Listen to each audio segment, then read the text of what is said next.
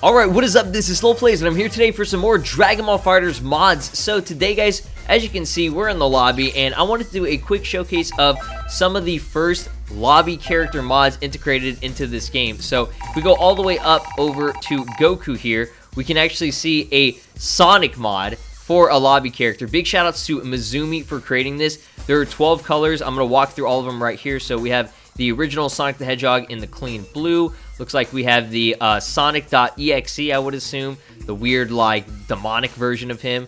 Uh, we got, looks like red here. We got a sort of tealish blue kind of color. Uh, what else we got here? Green. You know, shout outs to, you know, the green homies out there that like the color green. We have a Super Sonic variation because, you know, he's got to transform and go Super Saiyan with all the Chaos Emeralds.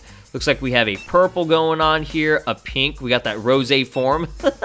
uh, looks like we have a darker red sort of color, a pure black. Shout out to my man Shadow.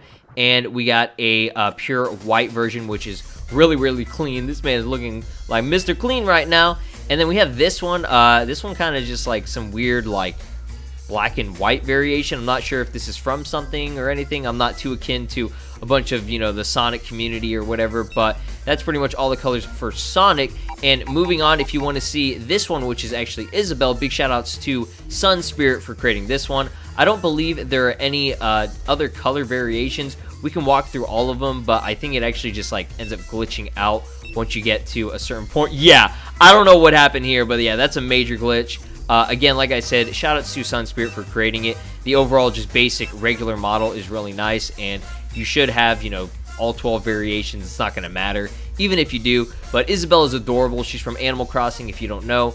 And uh, yeah, she just like imported this character, and it's awesome.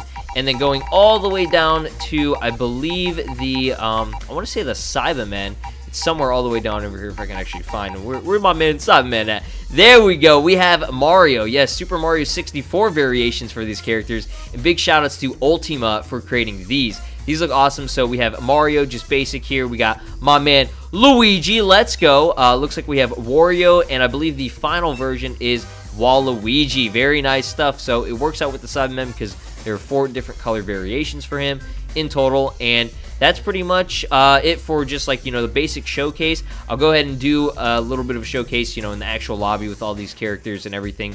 And uh, yeah, that's pretty much it. Big shout outs again to Mizumi, SunSpirit, and of course Ultimate for creating these. They did an amazing job. It's just nice to see these cute little adorable lobby characters, and I thought it was a fun little mod to showcase. So I will talk to you guys in the next one. Peace out, take care, and have a great day, my friends.